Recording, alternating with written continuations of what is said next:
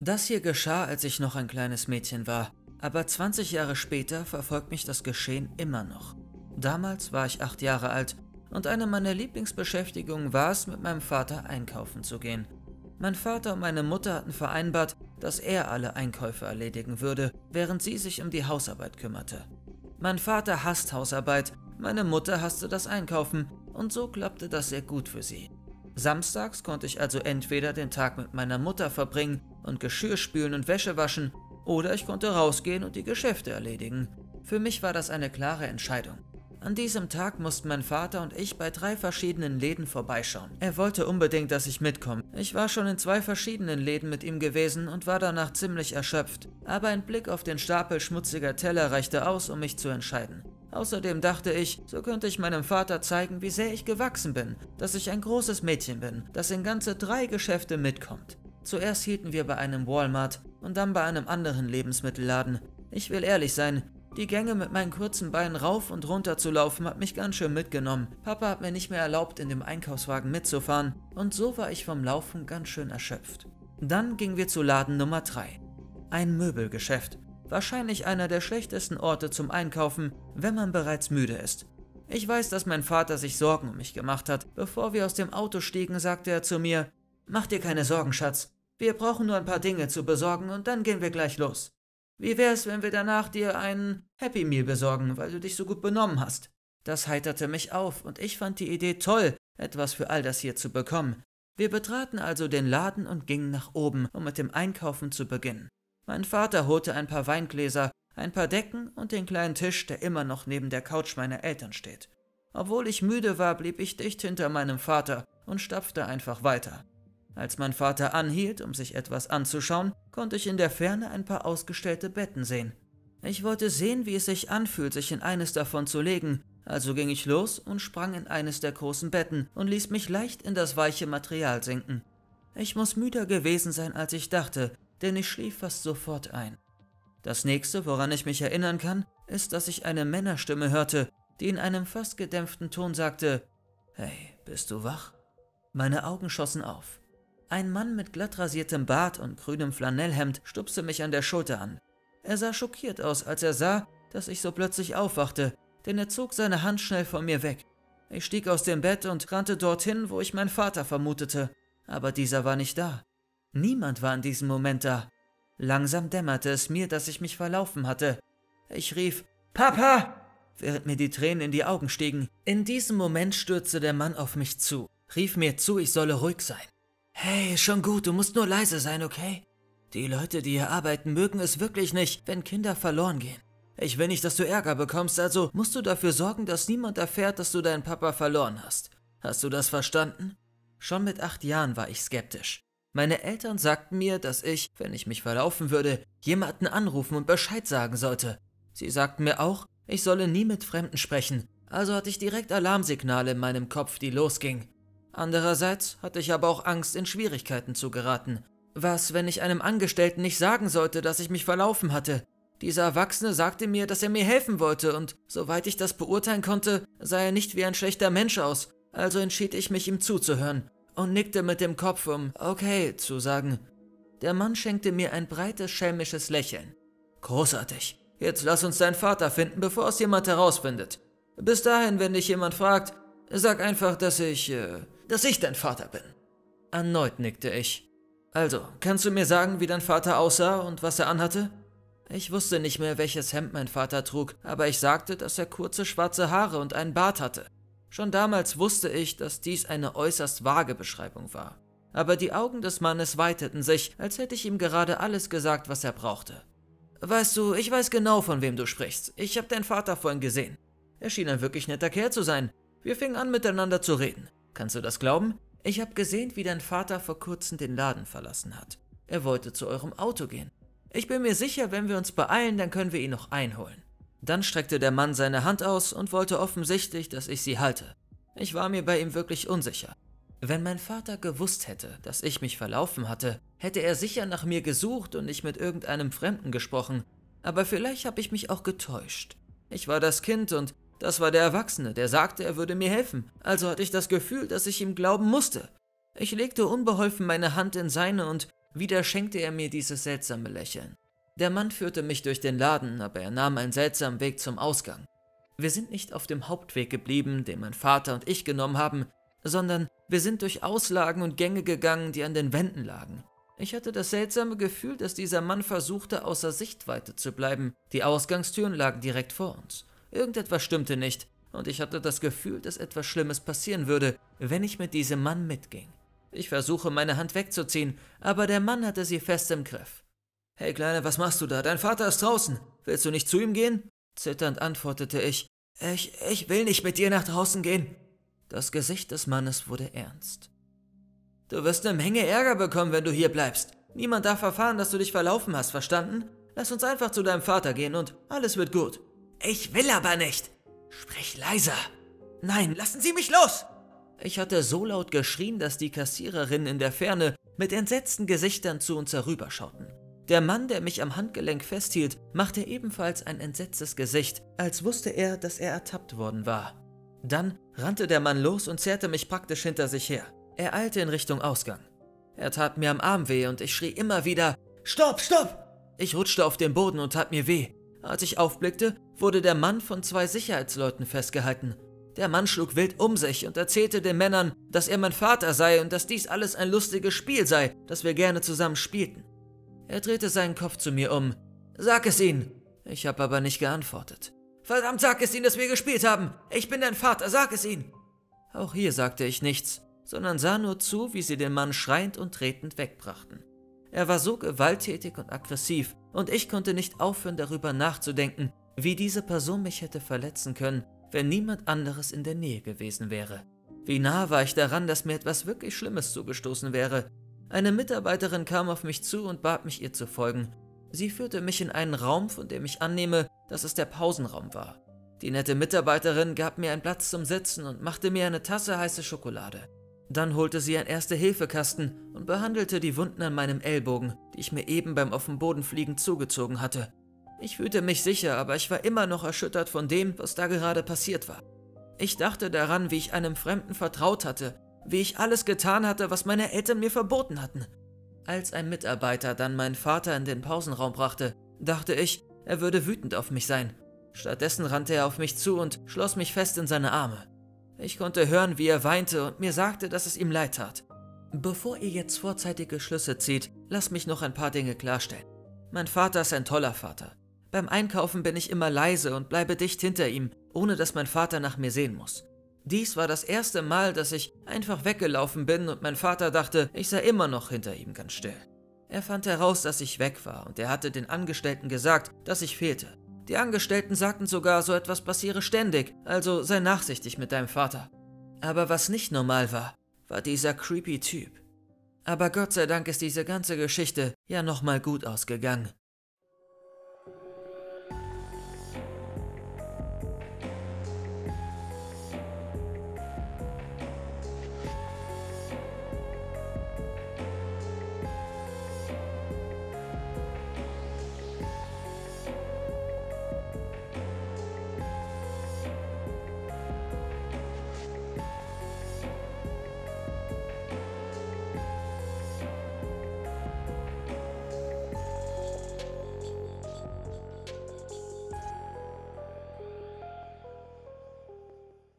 Geschichte Nummer 2 Ich habe mir das einfach eingeredet. Okay, ich wusste einfach nicht, an wen ich mich sonst wenden sollte. Ich habe es der Familie, Freunden und allen, die mich unterstützen konnten, erzählt, aber es hat nichts gebracht. Sie halten mich alle für verrückt und die, die mich nicht für verrückt halten, sind sich sicher, dass das alles ein ausgeklügelter Streich ist. Ich schwöre aber, das ist es nicht. Das ist mir wirklich passiert. Ich habe mir das nicht eingeredet. Ja, also, äh, von vorne. Ich, ich fange besser von vorne an. Der Geburtstag meiner Nichte Michelle stand bevor. Nun, ich bin stolz darauf, ein cooler Onkel zu sein. Ich bin nie sesshaft geworden, also beschloss ich, dass ich an ihrem Leben teilhaben wollte. Michelle ist wie eine Tochter, die ich nie hatte. Sie hat mir schon oft gesagt, dass sie mit mir sehr gerne über alle Dinge redet, über die sie mit ihren Eltern nicht so sprechen kann. Und das gibt mir das Gefühl, dass ich als ihr Onkel einen wichtigen Platz in ihrem Leben habe. Als sie dann ins Teenageralter kam, war das eine große Sache. Ich wollte ihren Geburtstag zu etwas ganz Besonderem für sie machen.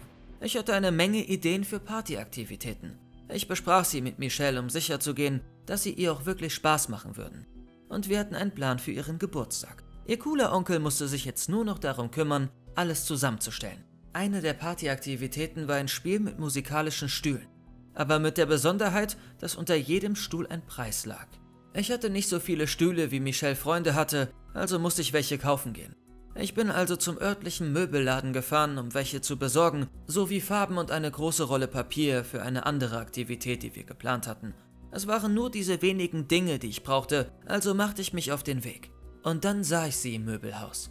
Die Puppe.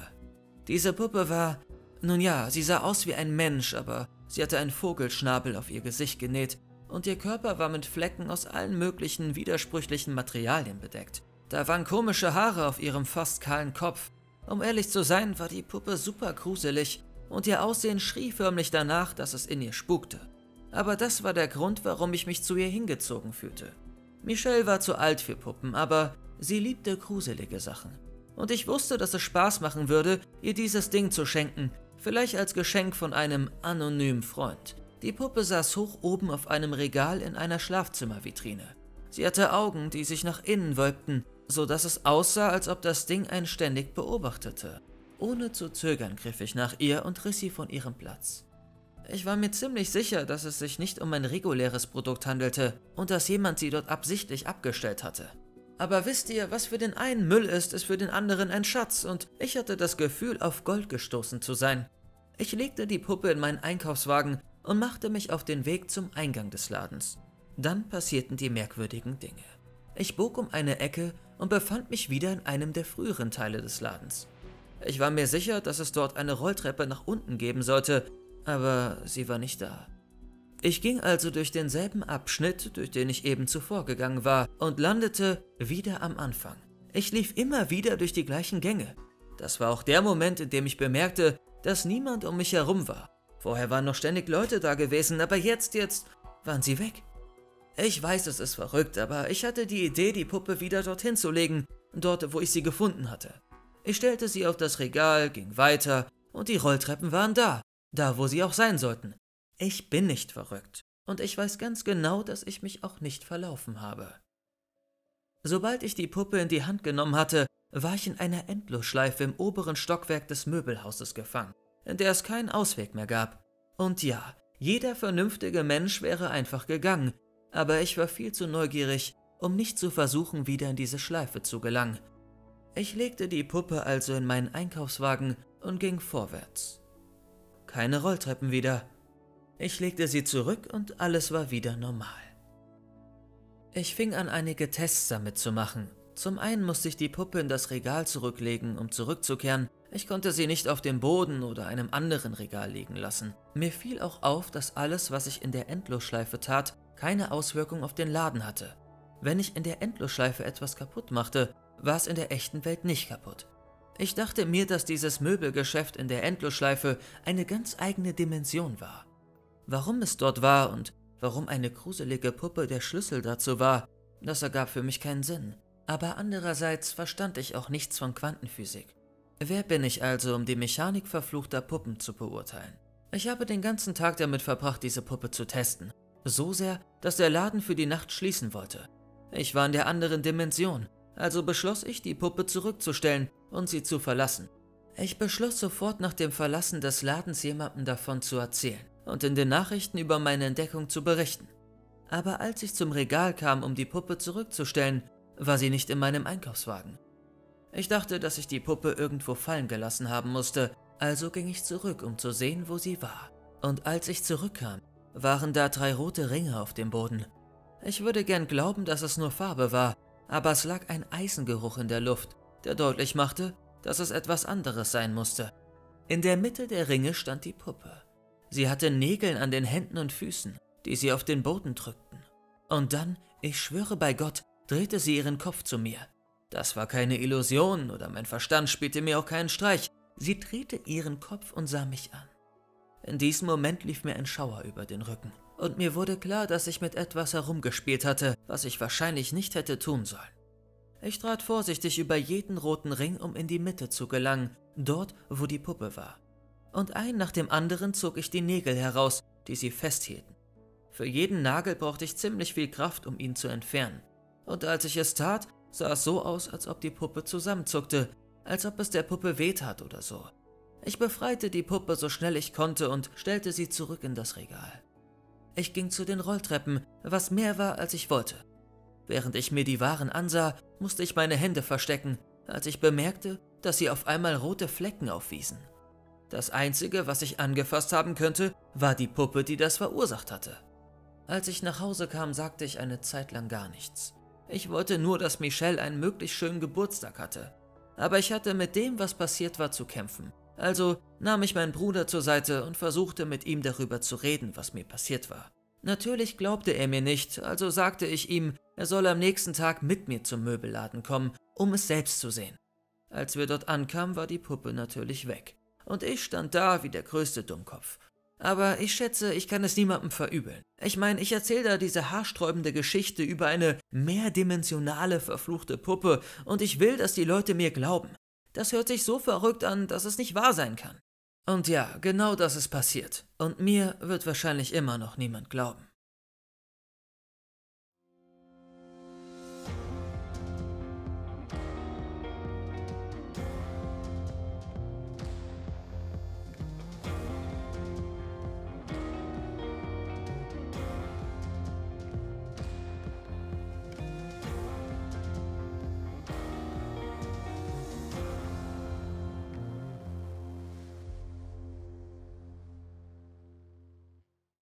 Geschichte Nummer 3 Hörst du mir zu? Ich will es nicht öfter sagen, als ich muss, okay? Wenn ich sagen müsste, wann es angefangen hat, würde ich sagen, es war, als ich zu diesem Möbelladen ging, um Kunstzubehör zu kaufen. Nein, warte, jetzt muss ich noch weiter zurückgehen. Ich war gerade an meiner örtlichen Kunsthochschule angenommen worden. Meine Hoffnung war, Animationszeichner zu werden. Vielleicht nach Hollywood zu gehen und in einem der großen Studios zu arbeiten. Aber bis dahin war es noch ein weiter Weg und es gab viel, worauf ich mich vor Beginn des Semesters vorbereiten musste. Ich hieb bei einigen Kunstgeschäften an, um alles zu besorgen, was ich brauchte, und beendete den Tag mit einem Besuch bei einer großen Möbelkette.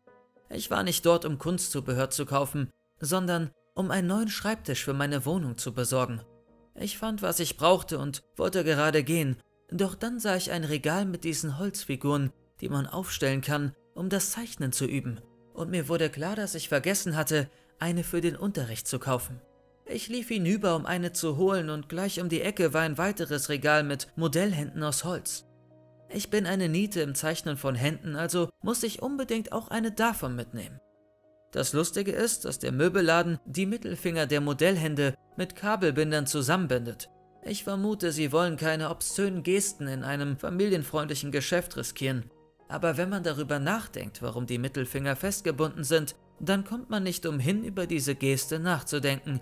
Es ist, als würde man so etwas verhindern, damit es einem eher auffällt. Ich glaube, ich war abgelenkt, weil ich eine Hand aufheben wollte, die mir dann herunterfiel. Sie traf meinen Fuß und rutschte dann durch die Lücke unter dem Regal. Ich hatte Flipflops an und das tat furchtbar weh. Nachdem der Schmerz abgeklungen war, stellte ich mich auf den Boden, um nach der heruntergefallenen Hand zu suchen, und ich war äußerst überrascht, als ich zwei Hände unter dem Regal fand. Ich dachte darüber nach, dass jemand anderes genauso ungeschickt gewesen sein könnte wie ich, und das tröstete mich ein wenig über den Vorfall hinweg. Ich zog beide Hände heraus, bemerkte aber etwas Seltsames an der zweiten Hand. Alle Finger waren gefesselt, nicht nur der mittlere. Ich habe es mir genau angesehen. Ich liebe Dinge, die seltsam oder schrullig sind. Sie regen meine Fantasie an, und ich frage mich immer, welche Geschichte dahinter steckt. Ich beschloss, diese seltsame Hand zu kaufen, die, die komplett festgebunden war. Ich nahm sie mit an die Kasse und die Kassiererin konnte aber keinen Strichcode darauf finden. Sie musste das Produkt nachschlagen, um es mir in Rechnung zu stellen. Es war wieder einmal seltsam und ich, ich fand das toll. Ich fuhr zurück in meine Wohnung, sehr zufrieden mit meinem Einkauf an diesem Tag.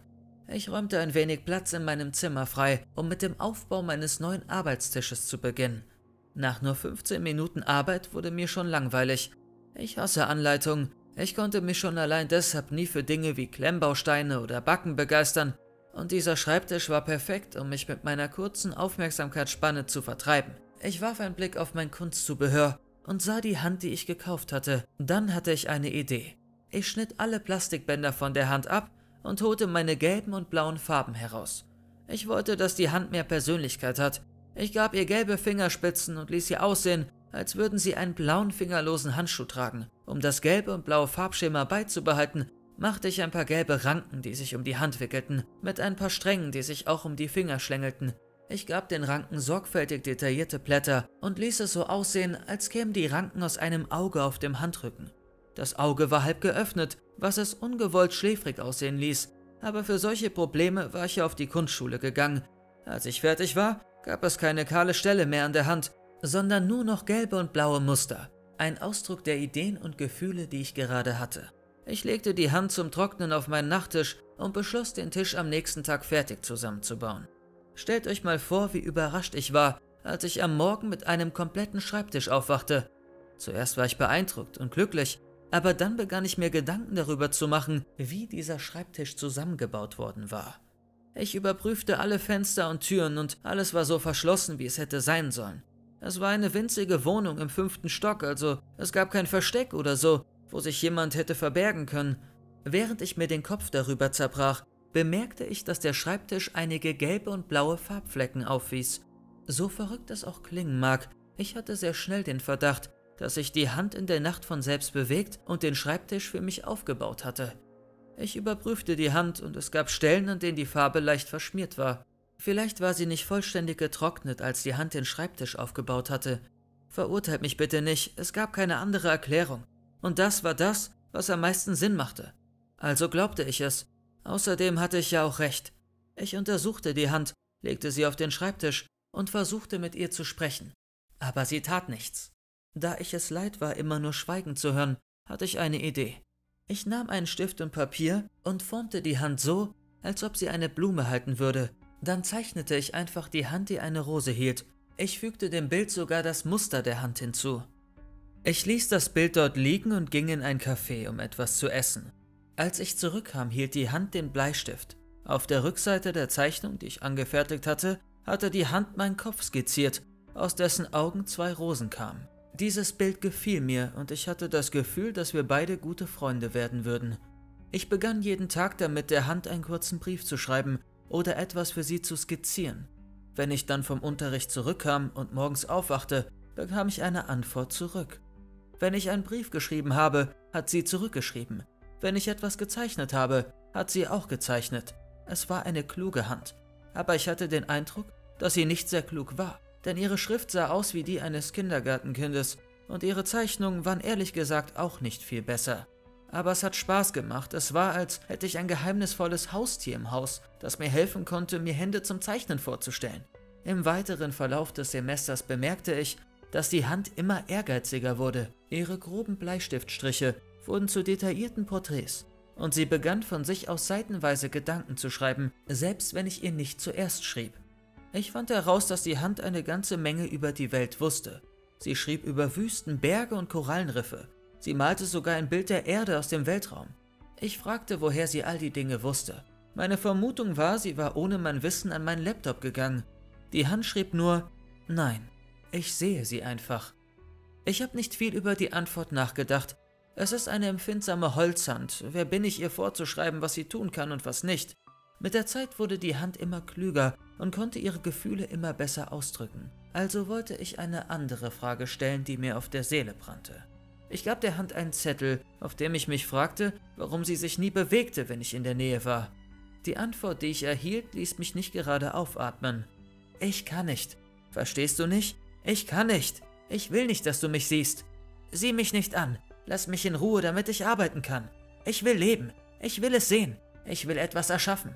Aber das kann ich nicht, wenn du dabei bist. Also geh weg und lass mich leben. Dies war das erste Mal, dass die Hand auf irgendeine Art und Weise aggressiv sich zeigte. Es war, als wäre ich auf ein sensibles Thema gestoßen und ich sah eine ganz neue Seite von ihr. Ehrlich gesagt hätte ich vielleicht eingreifen und etwas unternehmen sollen, aber ich hatte mich so sehr an diese Hand gewöhnt, dass ich das Gefühl hatte, sie müsste über diesen einen Ausbruch hinwegsehen und weitermachen. Es vergingen noch ein paar Wochen und ich begann nervös zu werden, die Hand zeichnete Porträts und schrieb Geschichten über Tod und Zerstörung sowie über Kriege, die in der Welt stattfanden. Diese Arbeiten waren so detailliert, dass ich es merkwürdig fand, wenn ich sah, was die Hand dort tat. Ich habe immer wieder versucht, ihr zu schreiben und ihr schöne Bilder zu hinterlassen, aber sie hat mich völlig ignoriert. Das einzige Mal, dass sie mich zur Kenntnis nahm, war, als ich eines Morgens einen Zettel auf meinem Bett fand, auf dem in fetten Buchstaben stand Geh und hol mehr Papier. Die Wohnung war ein einziges Durcheinander, mit Stapeln von der Hand. Inzwischen arbeitete sie wild und jedes Mal, wenn ich in meine Wohnung zurückkam, lagen Dutzende von neuen Schriftstücken und Kunstwerken darin. Irgendwann wurde das zu einem Problem, denn es gab zu viele Papiere, die ich herumschieben musste. Eines Tages versuchte ich eine Handvoll Seiten in den Papierkorb zu werfen und war schockiert, als ich das Geräusch eines Küchenmessers hörte, das aus dem Ständer gezogen wurde. Ich drehte mich um und die Hand sackte auf den Boden. Sie hatte ein gezacktes Messer in einer Faust geballt. Ich nahm das Messer vorsichtig heraus und legte die Hand zurück auf den Tisch. Ich verließ die Wohnung, ließ die Papiere liegen und ging rückwärts aus der Tür, um weiter nachsehen zu können, was passierte. Als ich die Tür gerade schließen wollte, wurde mein Bleistifthalter gewaltsam aus meinem Zimmer in den Hauptraum geschleudert. Ich knallte die Tür zu. Diese Hand hatte ein Messer. Und sie würde mir wirklich wehtun wollen.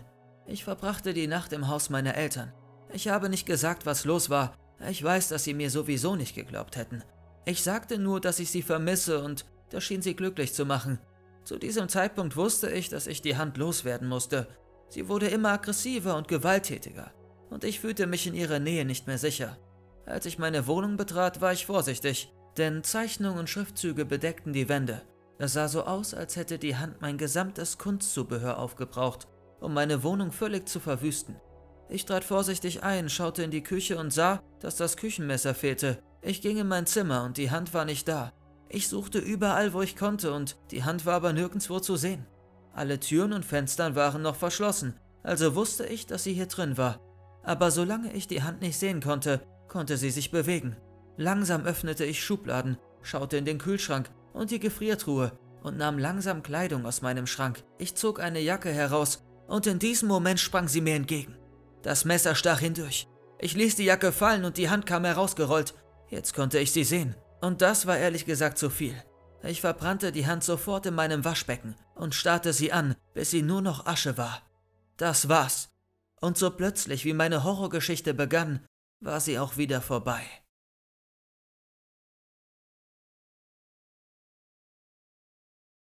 Das war's leider schon mit der Geschichte. Aber weiterer stundenlanger Content und Stories gibt es auf Spotify, Apple Music, Amazon Music und Co. Geht auf den Link in der Beschreibung und folgt unserer Playlist da. Was gibt es bitte cooleres, als mit Gruselgeschichten einzuschlafen? Danke für euren Support, Freunde, ihr unterstützt uns wirklich extrem.